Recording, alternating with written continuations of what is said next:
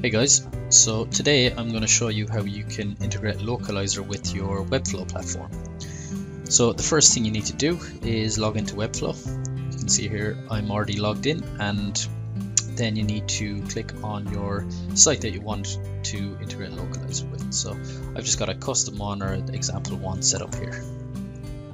Um, so while that's loading up, you need to go to the localizer website. So this is slightly different than the integrations we've done already in that Webflow have actually given us a custom JavaScript code that we can use with their platform. So uh, I'll include the link to this integration guide where you can get the code um, on the description of the video. So once you're here, you copy the code like so.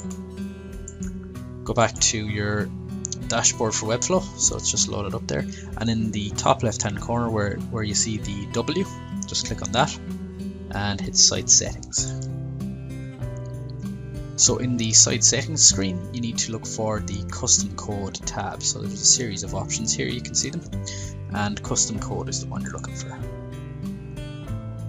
So once you're in custom code, scroll down to where it says head code and add head code at the end of the head tag. So what you need to do then is click in this box and paste in your JavaScript code that you've copied earlier. So once that's pasted in there, hit save changes. And that's pretty much it. You're ready to start uh, localizing your Webflow platform.